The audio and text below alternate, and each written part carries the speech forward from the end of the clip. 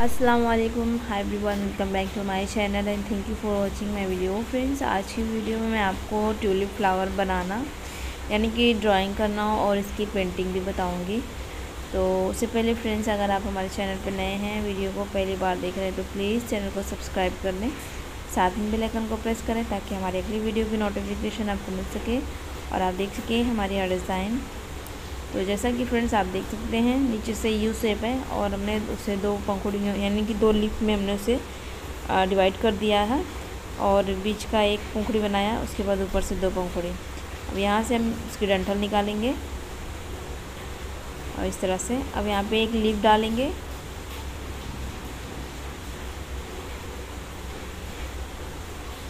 इस तरह से। ये हमारी एक लीफ हो गई। अब हम इसमें से एक फ्लावर और और एक लीफ ज्वाइन करेंगे। पहले लीफ बनाते हैं, उसके बाद फ्लावर बनाएँगे, ठीक? ये हो गई हमारी लीफ अब इसी में से हम फ्लावर निकालना है, इस तरह से। देखिए, अब यहाँ से हम फिर यू शेप का शेप देंगे। ये देखिए, इस तरह से। ठीक? देखिए, इस तरह से। हो गया। अब ये बीच वाला पार्ट बनाना है और ऊपर से दो पंखुड़ी और बनानी है। और ये हमारा फ्लावर जो है रेडी हो गया। तो आपको बहुत सिंपल ड्राइंग बताई हूँ। अगर आप भी ट्राई करेंगे तो इंशाल्लाह ज़रूर बनेगा। आप ट्राई ज़रूर करिएगा ड्राइंग के लिए। चलिए हम आपको पेंटिंग दिखाते हैं। सबसे पहले तो हम लीफ के लिए ये तीन कलर लिए हैं। आप देख सकते हैं। White light green and blue blue आप कोई सा भी ले सकते हैं। हमने तरकस ब्लू रेडियम कलर जो होता है तरकस ब्लू वो लिया है। और लाइट ग्रीन वाइट तीन शेड हमने लिया हुआ है। और इन तीन शेड से हम पहले लिप बनाएँगे। और ये ब्रश हमने एक नंबर का फ्लैट ब्रश लिया हुआ है। आपके पास अगर एक नंबर नहीं है तो आप टू नंबर का फ्लैट ब्रश भी ले सकते हैं। और यहाँ पे सबसे पहले हमें जो है, अपने लीफ को पूरा फिल करना है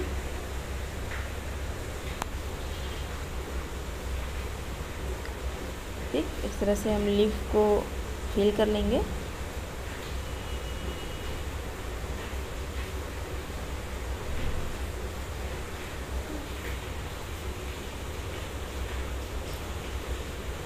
ये हमारी लीफ फिल हो गई।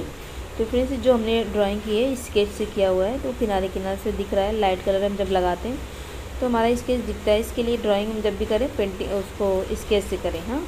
इसके सॉरी फ्रेंड्स ड्राइंग जब भी करिएगा, पेंसिल से करिएगा, ताकि आपकी ड्राइंग जो है ना दिखे।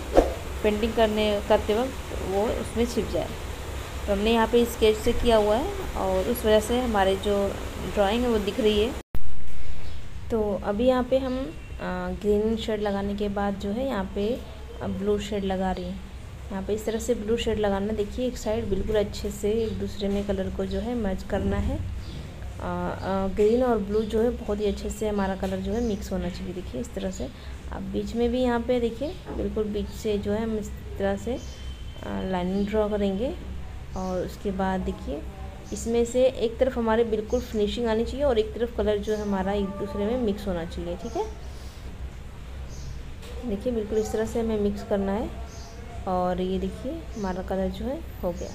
अगर आप चाहें तो दो ही कलर को छोड़ सकते हैं, अगर आप चाहें तो इसमें वाइट शर्ट भी डाल सकते हैं। तो हमने यहाँ पे दो कलर लगा लिया है। अब ये तीसरा कलर जो हमारा वाइट है, इसको हम लगाएँगे। और वाइट कलर को देखिए, बीच में हमने जहाँ से ब्लू शेड की लाइनिंग करी थी जस्ट उसके बाजू में हमें लगाना है। साइड में लगाते हुए देखिए, इस तरह से कलर को ब्लेंड कर देना है। इससे क्या है, हमारा जो ग्रीन शेड है, थोड़ा हाईलाइट हो जाता है। और लिव भी जो है खूबसूरत सी हो जाती है। जितना अच्छा आप कलर को मिक्स करोगे, मर्ज करोगे, उतना ही ज़्यादा ये है खूबसूरत और अच्छा दिखेगा, ठीक है? देखिए बिल्कुल इस तरह से। अब यहाँ पे हमारी लिव जो है वो तैयार हो चुकी देखिए इस तरह से लिव तैयार हो जाएगी। थोड़ी और फिनिशिंग के साथ करेंगे तो और भी ज़्यादा ये अच्छी लगेगी। तो इसी तरह से हम दूसरी भी लिव करेंगे। तो आप इस तरह से लाइट ग्रीन की जगह सेफ़ ग्रीन भी यूज़ कर सकते हैं। उससे भी अच्छा लुक आता है कलर अच्छा आता है डीप ग्रीन भी यूज़ कर सकते हैं। डीप ग्रीन का भी कलर अच्छा आता है। ठीक है, आप अपनी चॉइस से कोई भी कलर जो है यूज़ कर सकते हैं। लेकिन डीप ग्रीन से करने पे उसमें एक शेड और आता है। इंशाल्लाह मैं आपको किसी और वीडियोज़ में बताती हूँ। वो शेड कैसे डालेंगे लिफ में? ऐसे लिफ में, ठीक है? तो तो हमारी दूसरी लीफ करेंगे हम। ठीक है? तो जिसमें कमी हो उसको पूरा कर लीजिए, आप डार्क शेड वगैरह जो कम है लगा लीजिए। और ये देखिए, ये हमारी दूसरी लीफ इसमें हमने कलर फिल किया हुआ है। इसमें सिर्फ़ शेड हमें डालना है। ब्लू शेड का शेड हम डालेंगे। एक बार फिर से आप देख लीजिए। ये देखिए, इस तरह से ब्लू शेड डालेंगे और किनारे पे जो भी हमारा से किनारे वाला पार्ट रहेगा, उसको फिनिशिंग पहले दे देंगे। फिनिशिंग देने के बाद ये जो हमारा डार्क शेड है, यानी कि ब्लू उसको ग्रीन कलर में अच्छे से ब्लेंड करेंगे। हमारा कलर बिल्कुल अच्छे से मिक्स हो जाना चाहिए। ये देखिए, कुछ इस तरह से, ठीक है? मिक्स हो गया हमारा कलर। और अब हम यहाँ पे बीच से, देखिए लाइनिंग की है तो यहाँ तक हम इसको भी ब्लेंड करेंगे अच्छे से।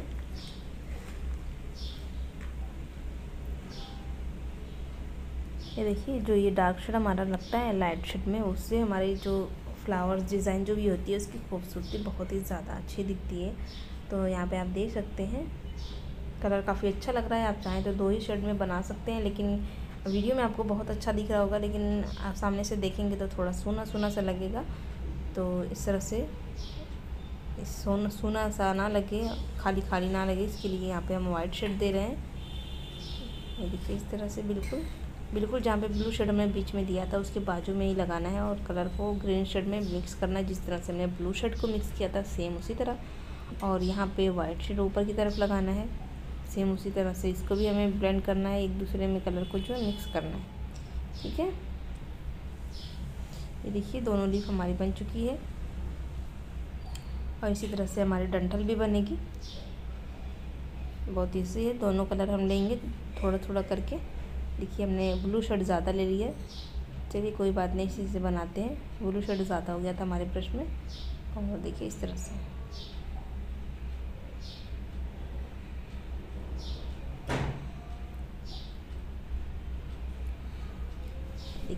डंटल हमारी तैयार हो चुकी है लीफ भी हमारी तैयार हो चुकी है। अब हम ये देखिए, जो हमारी फ्लावर की पंखुड़ी है, इसे हम पहले बनाएँगे क्योंकि ये पीछे साइड है। और इसके बनाने के बाद जब हम आगे की पंखुड़ी बनाएँगे तो उसमें फिनिशिंग जो है हमारी आनी चाहिए, इस तरह की फिनिशिंग आएगी। अगर हम ये बाद में बनाते हैं तो बहुत संभालना पड़ता है और हमारी फिनिशिंग जो फ्लावर की होती है, वो भी ख़राब हो जाती है। तो देखिए, यहाँ पर हमें कलर फिल कर लिया हमने। तो यहाँ पर हमने कौन सा कलर लिया है आपको पता है? यहाँ पर हमने पिंक पिंक शेड लिया हुआ है। और पिंक के साथ यहाँ पे हमने मरून लिया हुआ देखिए, जहाँ पे कॉर्नर रहेगा कॉर्नर से बिल्कुल हम मरून शेड लगाएँगे, जो भी ड्रॉ लाइन है, उसके ऊपर से थोड़ा थोड़ा लगाएँगे मरून शेड और उसको अच्छे से कलर में मर्ज करेंगे, मिलाएँगे उसको एकदम अच्छे से। और यहाँ पे भी इसी तरह से दूसरी पंखुड़ी में भी हमें उसी तरह से मर्ज करना है अच्छे से। बहुत ज़्यादा नहीं करना है, क्योंकि कलर बहुत थोड़ा थोड़ा सा लेना है, अगर आप ज़्यादा कलर लेंगे तो वो ज़्यादा ही हो जाएगा। तो आप थोड़ा कम ही लें। और इस तरह से ऊपर से वाइट लाइनिंग आउट लाइनिंग करते वाइट की आउट लाइनिंग करेंगे। ये देखिए बिल्कुल इस तरह से। छोटे छोटे स्ट्रोक लगाएँगे ड्राई शर्ट के, आप देख सकते हैं। और इस तरह से हमारी जो है शर्ट बननी चाहिए।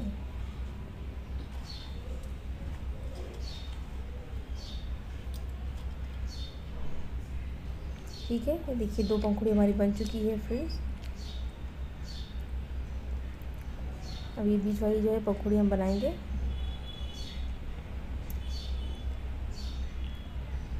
दोनों साइड की जो पंखुड़ियाँ हैं, उन्हें छोड़ते हुए जो है हम बीच की पंखुड़ियाँ बनाएँगे ताकि जब हम ऊपर की पंखुड़ियाँ बनाएँ वाइट शीट के साथ तो हमारी अंदर वाली पंखुड़ियाँ काफ़ी सेफ़ आएँ। तो यहाँ पे आप देख सकते हैं, मैंने फ्रेंड्स वीडियो प्रैक्टिस किया था तो स्टार्ट करना भूल गई।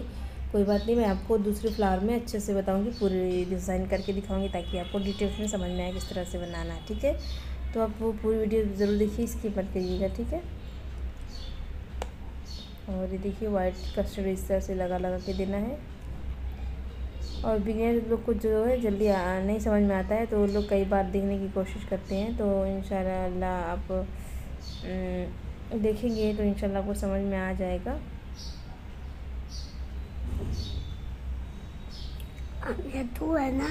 अब यहाँ से हम बनाएँगे दूसरा फ्लावर उसको भी स्टार्ट करेंगे और दूसरा फ्लावर हम डालेंगे पर्पल शेड से।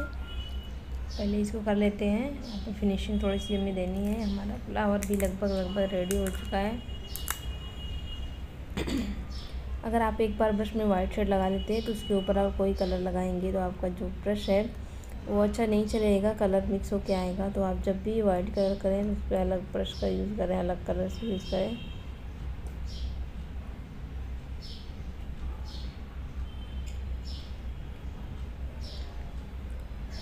अब आपको दूसरा फ्लावर करके दिखाते हैं, वो भी बहुत ईजी है। जैसे इस तरह के आप देख सकते हैं रेड वाला फ्ला पिंक शेड हमारा कितना खूबसूरत लग रहा है। तो इसी तरह से बस ये पर्पल कलर वाला भी फ्लावर है जो कि बहुत ही ज़्यादा प्यारा सा और ख़ूबसूरत है। देखिए, पहले जो पीछे की दो पंखुड़ियाँ हैं, उन्हें हमें फिल करना है, उनको हम भरेंगे और उसको जो है फिल करेंगे और अच्छे से शेड करेंगे।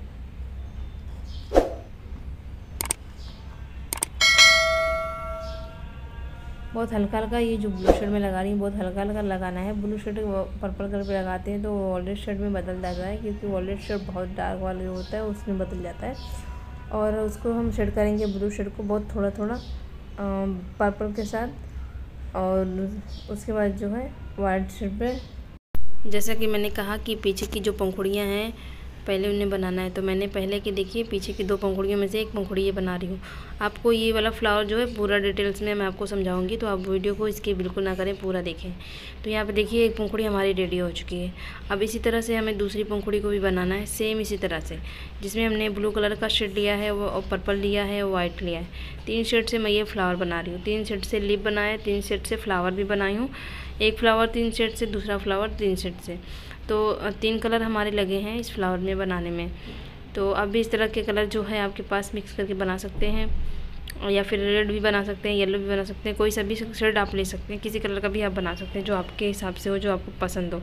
और यहाँ पे ये जो ब्लू शेड मैं लगा रही हूँ, फ्रेंड्स, ये बहुत ही थोड़ा थोड़ा सा लगाना है, बहुत ज़्यादा घना नहीं करना है, बहुत ज़्यादा डार्क नहीं करना है, बस ऐसा लगना चाहिए कि अंदर हमारा डार्क शेड जाए और ऊपर पर्पल दिखे। क्योंकि जब ये पर्पल हमारा दिखता है तो उसमें जब हम वाइट शेड देते हैं तो उससे भी मिक्स होकर हमारा शेड आता है तो हमारी डिज़ाइन जो होती है, वो और भी ज़्यादा अच्छी दिखती है। तो यहाँ पर देखिए, मैंने नीचे से पर्पल फिर उसके बाद उस पर ब्लू शेड ये ऊपर से की तरफ़ से हमें लगाना है वाइट इस तरह से हम वाइट लगाएँगे। और शेड को बहुत अच्छे से घुमा घुमा के, जिस तरफ़ से आपको घुमा हो उस तरफ़ से घुमा घुमा के शेड करिए, ताकि आपके फ्लावर जो है, उसकी पंखुड़ी जो है वो अच्छी बने, उसकी फिनिशिंग अच्छी आए।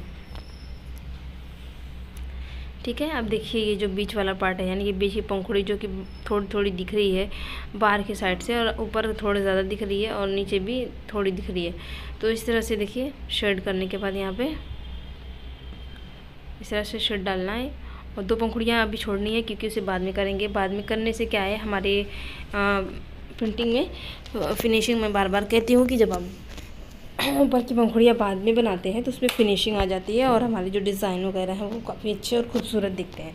तो यहाँ पे आप देख सकते हैं कि ये जो पंखुड़ी थी वो हमारी अंदर साइड थी, यानी कि दो जो पंखुड़ियाँ साइड की दिख रही हैं वो ऊपर हैं और ये पंखुड़ी उसके नीचे है। तो इसके लिए हमें सबसे पहले यही करना है क्योंकि अगर हम बाहर वाली कर लेंगे, जब इसको करेंगे तो हम जो वाइट कलर वगैरह जो है हमारे लगाए रहेंगे, उस पर डार्क शेड हमारा चढ़ जाता है। तो मतलब ब्रश अगर हिल हिल मिल गया तो जो है हमारा कलर दूसरे पंखुड़ी पे चला जाएगा। तो इसके लिए हमें पहले जितनी भी बैक साइड की पंखुड़ी, यानी कि नीचे की पंखुड़ियाँ हैं, उनको स्टेप बाय स्टेप करते हुए, बनाते हुए ऊपर आना है। उसके बाद सबसे ऊपर वाली पंखुड़ी करनी है। ठीक है? मैंने बहुत सारी वीडियोज़ में आपको इस तरह के बताया है। तो आप जो है वीडियो अगर देखेंगे, पूरा देखेंगे तो आपको सारी डिटेल समझ में आएगी, सारी बातें समझ में आएँगी। आप वीडियो को स्किप करके देखेंगे या फिर नहीं देखेंगे तो आपको समझ में नहीं आएगा। आप सोचेंगे, बस एक बार देख लूँ, मुझको पेंटिंग आ जाएगी। तो आप देखने में आपको बहुत ईजी लगेगी। जब आप खुद से ट्राई करोगे ना तो आपको खुद समझ में आएगा कि पेंटिंग करना इतना आसान नहीं है।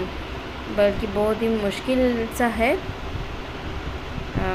अगर आप करने लगेंगे तो आपके लिए कुछ नहीं है। अगर आप नहीं करते हैं तो आपके लिए बहुत ही ज़्यादा टफ है। बहुत ही मुश्किल है। क्योंकि करने वालों के लिए कुछ भी नहीं है, क्योंकि उनके लिए बहुत ईजी हो जाता है। और जो नहीं करने वाले हैं, उनसे तो ब्रश ही समझ में नहीं आता कि वो ब्रश को कैसे पकड़ें। तो इसमें वो कन्फ्यूज़ हो जाते हैं और जो पेंटिंग वो कर नहीं पाते हैं। तो इसके लिए आप वीडियो को पूरा देखेंगे तो आपको उसमें थोड़ी सी, जो छोटी से छोटी जानकारियाँ रहती हैं, वो सब मिलेगी। और आपको सब जानने के लिए, जानने को मिलेगा कि क्या, कैसे, कहाँ करना है। ठीक है? अभी देखिए, यहाँ पे मेरी पंखुड़ी पूरी हो गई है। ऊपर के शर्ट पे, ऊपर वाले पंखुड़ी पे जो है, हमने ब्लू शर्ट नहीं लगाया है। इसको लाइट दिखाना था तो हमने इसको ब्लू नहीं लगाया है। तो आप देख सकते हैं, बिना ब्लू लगाए ही मैंने इसको जो है बना दिया है। अब इधर का देखिए, इधर का भी इस तरह से मैं शर्ट डाल रही हूँ।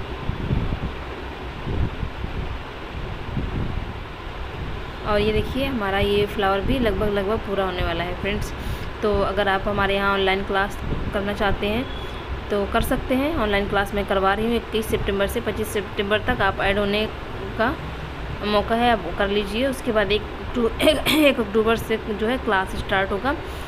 एक अक्टूबर से मैं क्लास स्टार्ट स्टार्ट करवाऊँगी। शाम पाँच बजे से छः बजे तक का क्लास टाइमिंग है।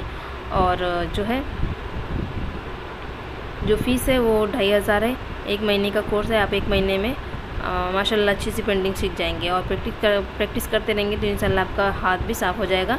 वीडियो में मैं नंबर डाली हूँ व्हाट्सएप पर जब भी कांटेक्ट करें व्हाट्सएप पर करें, आपको व्हाट्सएप पे सारी डिटेल्स मिल जाएगी।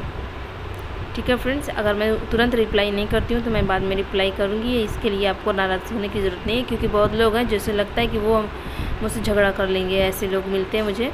जब मैं उनका रिप्लाई नहीं कर पाती हूँ तो सोचते हैं बस तुरंत मैं वो मैसेज करें और मैं तुरंत उनको रिप्लाई कर दूँ।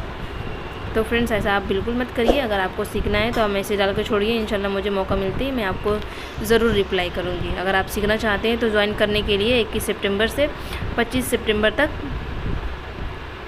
ज्वाइन कर सकते हैं। मतलब ज्वाइन होने के लिए पेमेंट करके अपना नाम डाल सकते हैं। एक अक्टूबर से आपका क्लास स्टार्ट हो जाएगा। जो नेक्स्ट बैच है स्टार्ट होने वाला है, वो एक अक्टूबर से स्टार्ट होगा। और क्लास ज्वाइन करने के लिए आपको 21 से 25 तारीख तक पेमेंट करनी है। ठीक है? आज की वीडियो में इतना ही फ्रेंड्स, फिर मिलेंगे नेक्स्ट वीडियो के साथ। तब तक के लिए बाय, दुआ में याद रखिए। अल्लाह हाफिज़।